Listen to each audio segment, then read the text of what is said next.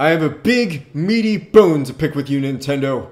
Tell me, why isn't Toad a fighter in Smash? He's a perfect physical specimen, with a bulbous head that's as big as his entire body, and shoes the size of Shaquille O'Neal's. His godlike body makes even Danny DeVito jealous. What do you want me to starve to death? And you know what they say about big feet, don't you, Nintendo? They're good for kicking Luigi's ass. I want to give Dr. Mario a taste of his own medicine. And if you do drugs, you go to hell before you die.